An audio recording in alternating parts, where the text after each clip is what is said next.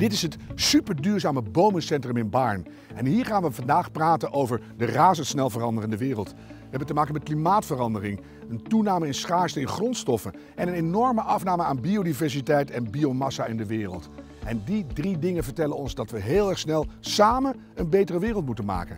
De vraag vandaag is, hoe gaan juridisch adviseurs hun klanten helpen op weg naar en in die nieuwe wereld? Welkom bij de DLA Piper ESG Talks.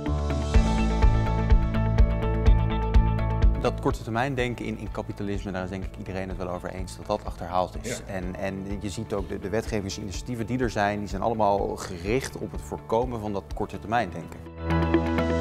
En een bedrijf wat er voor de korte termijn in zit en denkt, uh, ik moet nu geld verdienen, want ik moet nu dividend uitkeren aan mijn aandeelhouders, die vergeet dat de wereld aan het veranderen is. Dan komt die ESG-litigation om de hoek kijken. Kunnen we die term hier aan tafel wat preciezer definiëren? Je zou natuurlijk net zo goed kunnen betogen dat maatschappelijk verantwoord ondernemen, ESG, en, en, en kernspeerpunt is van de strategie ja, uh, de komende uh, tijd. Ja, ik zou zeggen, het belangrijkste punt. Wat bedrijven echt niet moeten onderschatten, is dat als je voor de rechter wordt gesleept, dat dat vooral is om je in het oog van de publieke opinie onder druk te zetten. Waar je eigenlijk helemaal geen tijd meer voor hebt.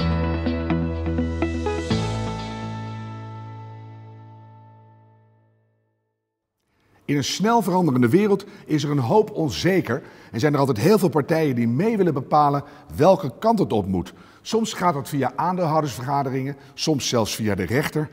Beïnvloeding van bedrijven, daar ga ik het over hebben met twee gasten, allebei van DLA Piper. De eerste houdt van internationale arbitrage, aandeelhoudersgeschillen en partnerschapproblemen. Hij liever dan ik, de altijd vrolijke Michiel Koenraads. En de ander die houdt ook eh, van uh, complexe internationale arbitrage. En dan gaat het soms ook over mensenrechten. Dat kan gaan van het Midden-Oosten via Afrika tot aan Brazilië. Overal voelen ze de controlerende ogen van Jorian Hamster. Fijn dat je er bent.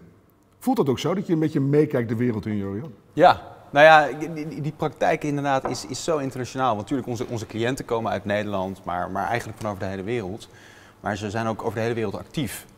En het is juist bijvoorbeeld een bedrijf wat in Brazilië opereert, inderdaad in Nigeria. En, en daar problemen tegenkomt op het gebied van duurzaamheid, op het gebied van, van mensenrechten. Nou, dat zien we dus steeds vaker ook in Nederland uiteindelijk terechtkomen. En dat komt dus op ons bordje. Door al die lijnen die lopen, ik zie je aan beide kanten geknikt worden. Ik wil eigenlijk even heel persoonlijk beginnen. Als jullie kijken naar je eigen leven, de afgelopen tien jaar, is dat een stuk duurzamer geworden?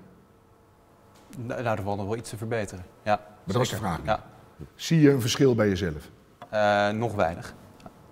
En waar zit dat in? Dat je denkt van, nou, ik ben er wel mee bezig, maar zelf verander ik nog niet snel? Ja, ik denk dat het dat is. Kijk, kijk uh, op het gebied van, van vervoer, uh, we vliegen allemaal nog, uh, we gaan allemaal nog met de auto. Dus daar zit nog, nog niet de ontwikkeling die denk ik de komende tijd nodig is. En verwacht je die wel? Want je bent ermee bezig. En je hebt natuurlijk een degelijk Hollands spreekwoord waar je mee omgaat, word je door besmet. Ja, zeker. Um, ik, ik, ik, we zien het ook bij onze kantoren. Er wordt veel concreter nagedacht over. Hè, het is allemaal leuk en aardig dat, dat wij bezig zijn met cliënten uh, adviseren over duurzaamheid. Maar je, je wil daar zelf ook uh, een leidende rol in ja. nemen. Dus daar wordt, daar wordt heel concreet over nagedacht. Lijkt me ook fijn, Michiel, dat je dan denkt van uh, ik doe het zelf ook. De, en dan kan ik er ook over meepraten. Nou, je moet je een beetje verdiepen in het onderwerp natuurlijk. Je moet het ook, je moet het ook leven en, en daar, daar, daar feeling mee krijgen. Omdat dat het gaat ook over geloofwaardigheid natuurlijk. Ja. En, en het, die, de cliënten die voelen aan of je het inderdaad het onderwerp helemaal in de vingers zet en of je het, of je het ademt. Nou, maar echt ook of het geloofwaardig is. Ja. Hè? Je kan er alles van weten, maar als je het zelf niet leeft, dan uh, mooi. Nou ja, kijk, dus, dus daar gaat het ook de geloofwaardigheid over dat je het dilemma heel goed begrijpt. En dat dilemma zit in ons allemaal. Ja. Van hoe gaan we om met dit soort veranderingen? En wat laten we ervoor gaan? Welk offer willen we ervoor brengen? En wat, wat krijgen we er in de lange termijn voor terug? Nou ja, en dat werkt in onze persoonlijke levens. Maar dat werkt in het groot in de boardroom bij onze klanten ja. ook zo. Ja. Bedrijven die worden steeds meer bestookt van alle kanten met wensen, met wetten. Uh, allemaal onvoorspelbare zaken. Ik begon al een beetje zo, er is veel onzeker op dit moment. Dan komt die ESG-litigation om de hoek kijken. Kunnen we die term hier aan tafel wat preciezer definiëren? Nou, het gaat eigenlijk over de, de, de strijd om de macht, zullen we maar zeggen. Want dit gaat over, over uh, verandering, strategie en wie gaat erover. Mm -hmm. En uh, dit is een, een enorm dit is een tijdsgevricht waarin alles in beweging is, met, met, met, met uitstek, bij uitstek, dit, dit onderwerp. Ja. Dus je ziet daar heel veel belanghebbenden zich roeren om proberen een stevige vinger in de pap te krijgen. En dat maakt het een extreem in, ingewikkeld, maar ook interessant tijdsgevricht waar we in, in leven. En als je er zo naar kijkt, wie heeft op dit moment de macht? Is het nog steeds de ouderwetse structuur of zie je daar ook dingen verschuiven? Nou, in Nederland hebben we, als je, kijkt, als je het hebt over corporate governance, mm. hoe, hoe, regel je dit binnen bedrijven, hebben we daar al een heel goed systeem voor. En uh, dat is dat de, het bestuur onder toezicht van de Raad van Commissarissen gaat over de strategie. Nou, dit, is, dit is bij uitstek een strategisch onderwerp, ja. maar je moet er wel verantwoording over afleggen aan de aandeelhoudersvergadering. Dus je ziet aandeelhouders, hè, die gaan zich roeren in de AVA, maar daarnaast zie je ook nog belanghebbenden buiten de vennootschap, zoals bijvoorbeeld uh, uh, public interest groepen, mm Greenpeace Milieudefensie, uh, die proberen op een andere manier invloed op te ja, Aan alle kanten zie je die invloeden binnenkomen. Ja, die, die buitenfactoren, daar moeten we het zo wat langer over hebben. Ja. Als jij kijkt, Jorian, zie jij dat die macht aan het verschuiven is? Ja, zeker. Je, je ziet dat die, die belanghebbenden echt aan, aan, aan de poort beginnen te, te, te rammelen. Hè? Dus wat er gebeurt is, is heel erg lang dat, dat ze eigenlijk geen invloed hadden op, op wat er allemaal gebeurt. En misschien een beetje naar de overheid keken. En nou, komt de overheid dan met wetgeving op dit gebied? Mm. gaat er iets veranderen? Dat heeft heel erg lang geduurd voordat daar eindelijk mondjesmaatstapjes werden gezet. En toen zijn ze na gaan denken over andere manieren. En, en procederen, een, een bedrijf voor de rechter slepen en dit via de rechter proberen af te dwingen, is een van die manieren waarop dat kan. En we zien dat dat de laatste tijd ook steeds vaker met succes gebeurt. Ja, ik zie het aan mezelf. hè, want iets van zeven jaar geleden werd ik door het ABP of door de uh, petitieopstellers gevraagd: wil jij modereren dat het ABP de fossielvrij petitie krijgt? En twee jaar later vroeg het ABP mij: kan je jaarlijks een uh, duurzame dag organiseren om te kijken hoe wij het APG duurzamer kunnen laten investeren? Dus je zag binnen twee jaar er echt een verschuiving plaatsvinden. Ja, absoluut. Nou, en dat, dat is dus de verandering van binnenuit. Uh, ABP als aandeelhouder in beursgenoteerde bedrijven. Mhm. Die zeggen, hey, we willen dat jullie het anders gaan doen. Omdat ABP ook weer ten aanzien van hun klanten, namelijk de pensioenspaarders, moet uitleggen dat ze, dat ze het goede doen. Dus transparantie speelt daar een rol, hè? De, je minder dingen maar wegmoffelen. Ook verandering komt van onderaf uh, in, dit, uh, in, dit, in dit systeem. Het komt niet vanuit de bestaande structuren. Mm -hmm. Het komt van werknemers die zeggen, ik wil bij zo'n bedrijf werken. Het komt van aandeelhouders die zeggen, ik wil beleggen in zo'n eh, zo'n zo'n zo'n bedrijf. En dat komt ook van banken. Die zeggen, ja, wacht eens eventjes, we verstrekken niet alleen maar geld. We willen ook nog weten wat je ermee gaat doen. En wij hebben een soort prognose of een gedeeld beeld van die ja, toekomst. Precies. En als wij kijken op onze manier, dan kijken we anders dan zoals jullie kijken. Absoluut. Dus dan, als daar een discrepantie komt, dan, dan, dan gaat de boel al schuiven natuurlijk.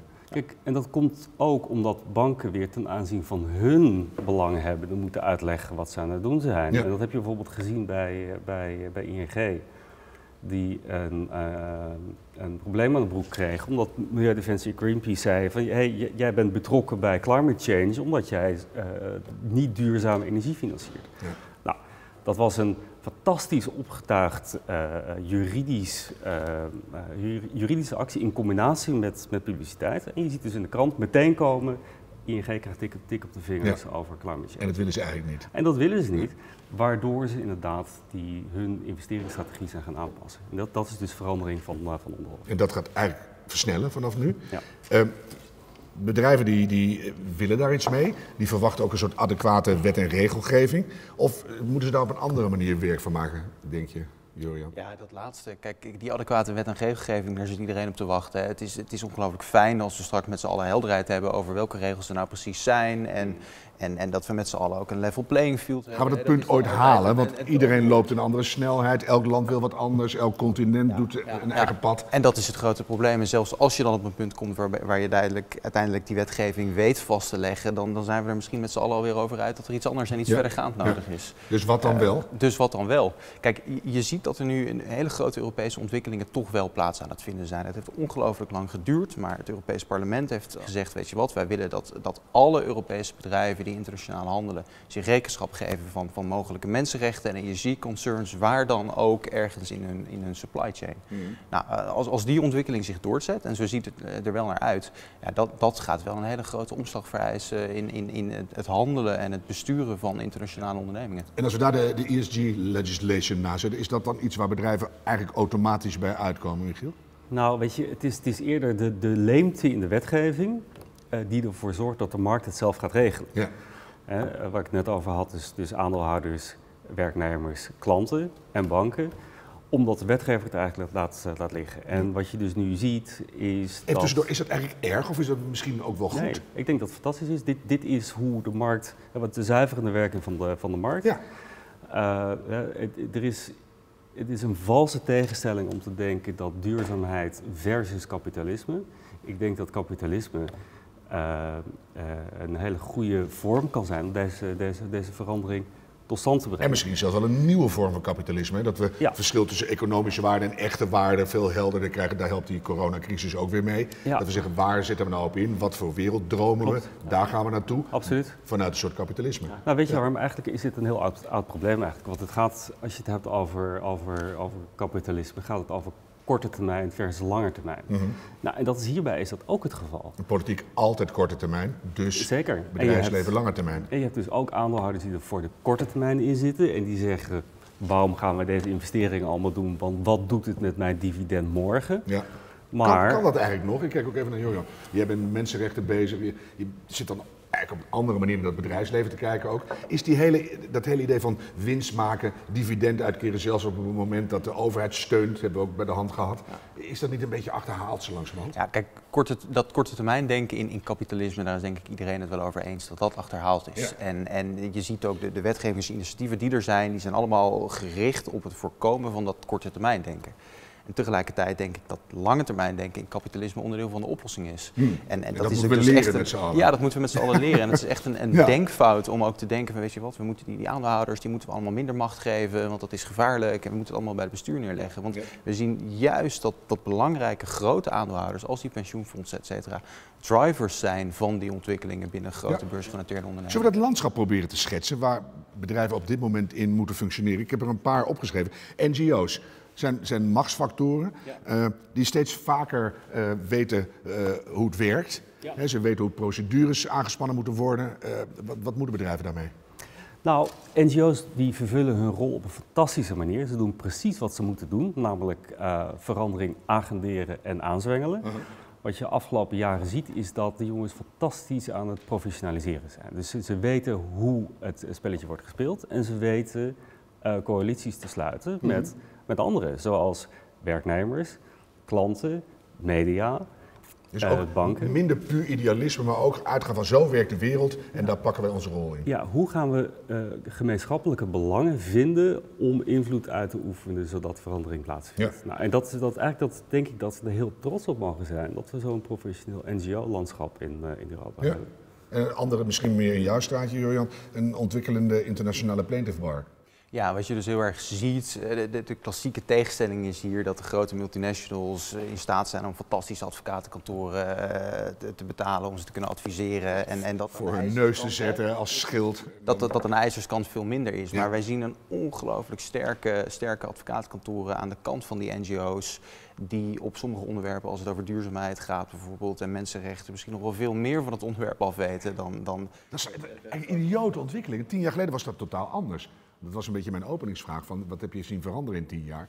Nou, eh, dat, is, dat is echt anders dan eh, in 2015. En, en, en een, een factor die daar ook een hele grote rol bij speelt, is dat er eigenlijk veel meer geld ook beschikbaar is voor NGO's en voor dit soort eh, plaintiff of claimant eh, kantoren. dus daar Om verschuiven zich te dingen. ontwikkelen, ja zeker. En dat, wordt internationaal, hè? dat is denk ik belangrijk. Dat waren van oudsher misschien wat kleinere Nederlandse kantoren, maar je Ja. ziet kantoren vanuit eh, Amerika, Brazilië, Engeland, ook in Nederland weer een nieuw kantoor, eh, sp- specifiek voor die mensenrechtengeschillen. Is het hete adem in jullie nek of denk je nee, dat is goed, wij, wij, wij liften mee op die stroom? Ja, ja. Kijk, uiteindelijk willen we denk ik hetzelfde. De- de- Aan beide kanten probeer je uit te vinden wat op dit moment de juiste balans is tussen korte en lange termijn. Wat de juiste balans is in de, de belangenafweging die gemaakt moet worden. Dus, dus al die verschillende belangen die spelen. En ik heb begrepen dat jullie daar ook een soort duo in zijn. Hè? Jullie vullen elkaar ook aan en eh, als de een komt, komt al snel de ander en andersom. Dat is leuk, want dan is, is- twee weten gewoon meer dan één. Dus, ik heb er nog één, de funders overal. Die willen ook andere dingen. Nou, dat hoort een beetje bij, bij, de, bij de Plaintiff Bar waar Jorian het over had. Want de, de, de vraag is altijd van hoe kun je die hele kostbare lobby en, en, en juridische effort, hoe kun je die, pro- kun je die financieren? Ja. En eh, er zijn nu eh, bedrijven die zien daar markt in en die zeggen wij willen dat wel voorfinancieren. En uh, in ruil daarvoor krijgen we dan een deel van de, van de, van de schadevergoeding die ja. het bedrijf betaalt. Nou, ja, er zit natuurlijk ook weer een soort uh, nare prikkel in, maar op zich goed dat het gebeurt. En... Uh, op, het, het, lost een probleem op. Ja. Hè? Ik bedoel, het probleem is dat je, dat je geen access to justice hebt voor, voor juist voor degene die dat nodig hebben. En als dit nou de marktoplossing daarvoor is, dan is dat in ieder geval iets. Hebben we nog één zo'n fijne groep, de private equity en de hedge funds? ja, nou ja, kijk, over korte termijn gesproken. Eigenlijk wat je aanstipt is natuurlijk, ja, dan valt er inderdaad geld te verdienen in, in, in deze markt. En dat is zo. En als er geld te verdienen is, dan zie je inderdaad dat er een bepaalde professionalisering optreedt. Um, bij, die, uh, bij die funders, dat, dat, geld komt ook ergens vandaan. Ja. Nou ja, we zien dat dat geld inderdaad van private equity en, en hedge funds uh, komt. Mm. Aan de andere kant spelen zij ook een rol um, bij weer die aandeelhoudersvergadering waar we het net over hadden. Dus je ziet eigenlijk dat het systeem zich daar ook vindt en dat daar een, een nieuw, want het ging over macht, een soort nieuw machtsspel aan het ontstaan is. Ja, maar ik ben het niet eens met de suggestie dat private equity en hedge funds er alleen voor de korte termijn in zitten. Mm -hmm. het, het, gaat om lange termijn uh, waardecreatie en dan gaat het eigenlijk over de, de license to operate op de lange termijn. En een bedrijf wat er voor de korte termijn in zit en denkt, uh, ik moet nu geld verdienen, want ik moet nu dividend uitkeren aan mijn aandeelhouders, die vergeet dat de wereld aan het veranderen is, dat de markt aan het veranderen is en dat de regels aan het veranderen zijn. Nou als, je, als je dat onderwerp vergeet, dan kun je alleen morgen dividend uitkeren ja. en dan kun je overmorgen geen zaken meer doen. En je merkt bij, bij die, bij die club, clubs, dat segment, dat daar ook dingen verschuiven. Ja. He, want ik bedoel, de, de HEMA werd nog keihard voor met schulden gehangen, dat hebben we het over tien jaar geleden. Ja. Dus zelfs in die tien jaar zie je bij die hedge funds ook echt een, uh, echt een verandering nou, in visie. Een goed voorbeeld is, is de ondertussen bekende Larry Finch letter van, van BlackRock. Die, die eigenlijk... Ik had hem laatst gewoon op het scherm. Hi Larry, hi Harm. Nou, gewoon, nou ja, hij dus, ja. Nou ja. Een mens gewoon, ja. maar die, die eigenlijk zegt uh, aan, aan al zijn mensen binnen BlackRock van oké, okay, alles waar we in investeren, ik wil een concreet duurzaamheidsbeleid zien. Ik wil concrete actiepunten op het gebied van ESG. Want doet een bedrijf dan dat niet, ja, dan hebben ze misschien nu wel mooie rendementen met, met, met hun kolencentrales, maar, maar op de lange termijn gaat hem dat niet je. Je, je, ziet dat in beeld komen nu, hè? Ja, ja. Dat iedereen in je jaarverslagen doe je daar op een manier verslag van. Je merkt dat aandeelhouders erop letten, noem maar ja. op. Maar dat geeft volgens mij voor gewone bedrijven heel erg veel druk. Uh, Kijk, het gaat over appetite for change. En bedrijven huh. die, die, die om kunnen gaan met veranderingen zijn op lange termijn altijd succesvol. Ja. Dat is wel een hele mooie om even hardop te zeggen. Je moet er ook gewoon zin in hebben. Nou, dat is absoluut waar. Ja. Kijk, en niet alleen maar omdat dit, dit, dit het juiste is om te doen, mm -hmm. maar omdat dit gewoon gaat over overleving van je, van je, van je bedrijf. Maar wat zeggen jullie tegen bedrijven? Zo langzamerhand beginnen grote bedrijven eraan te wennen, maar al die andere bedrijven die nog moeten beginnen, nou, hoe pak je, je dat aan? Ik kan je een voorspelling doen. Want je ziet nu heel veel bedrijven die denken, dit is toch wel een trend, hier moeten we wat mee. En die gaan daar uh, die gaan wat leuks op hun website zetten. Ja. Die gaan dan vervolgens wat leuks in de statuten zetten. We gaan wat leuks op de aanhoudersvergadering doen. En ze denken, nou, we zijn goed bezig. We got it covered. Ja. Absoluut. Maar ja. dit is een valkuil van je welste. Want uh, dat, dat, daar, beleggers gaan er doorheen prikken. Uh, ze gaan hier voor, voor de rechter worden gesleept. De ondernemerskamer wordt, wordt gesleept. Ze zeggen, ja, wacht eens even. Je zegt nu wel dat je, dit, dat je dit doet. Maar doe je het ook? En je komt bij het ontzettend interessante onderwerp van greenwashing. Ja.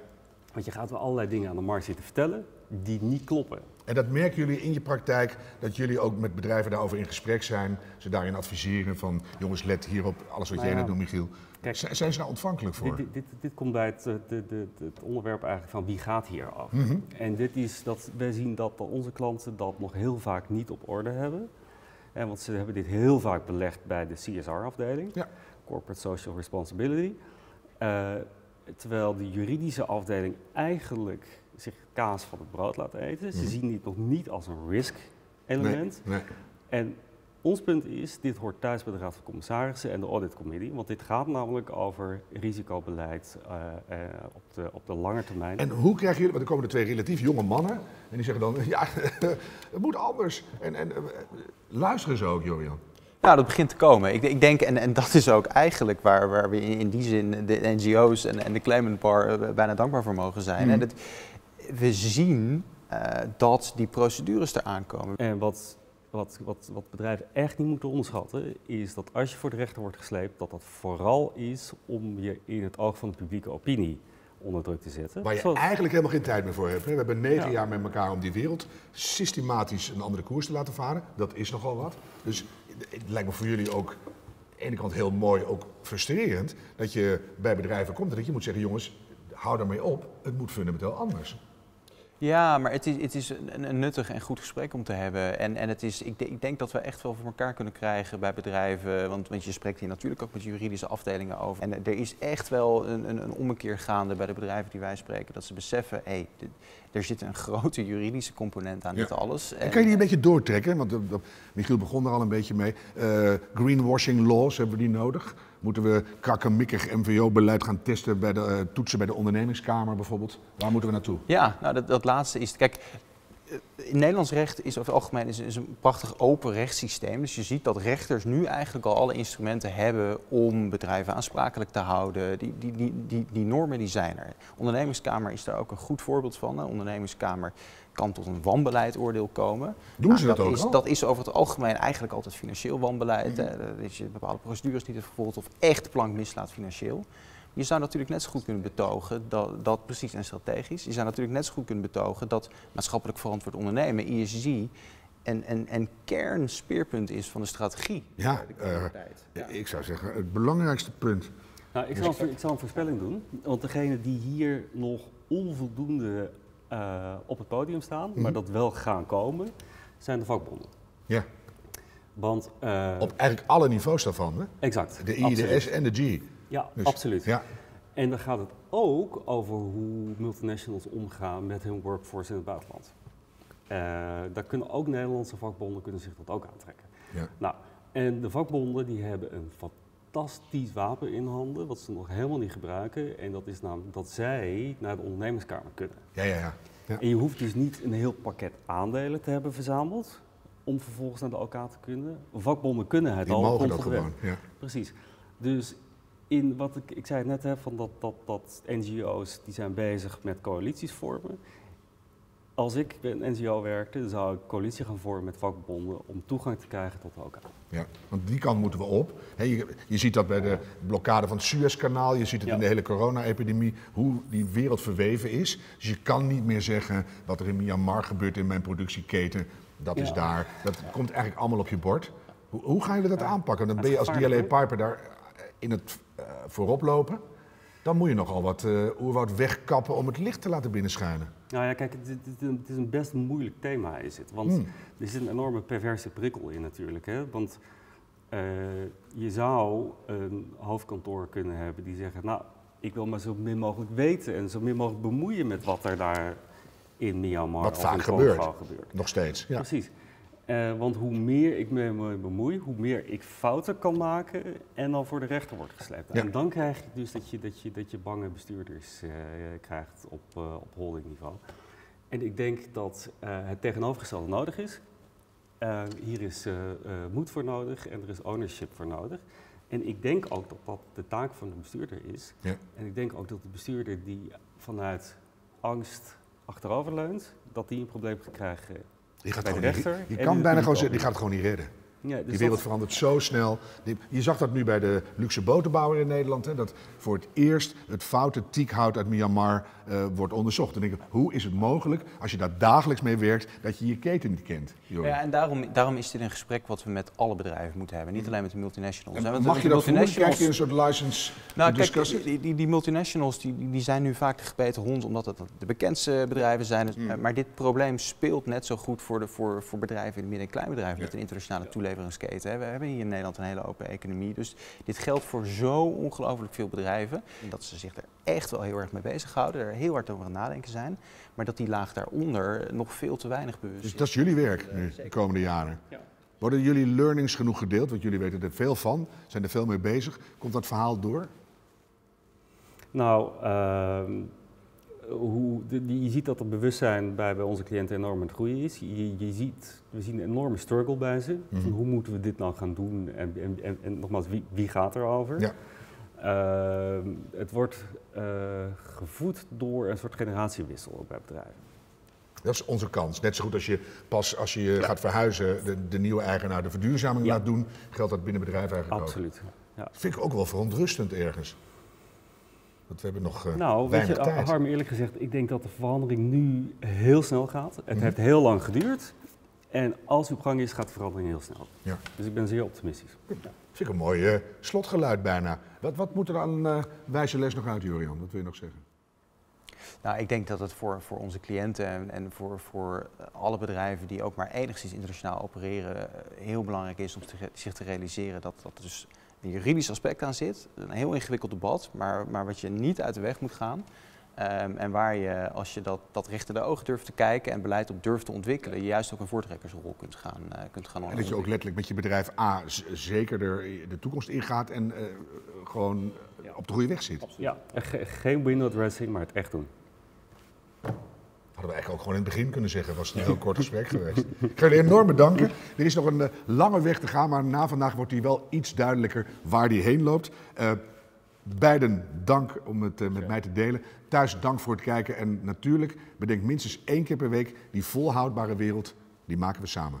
Dag.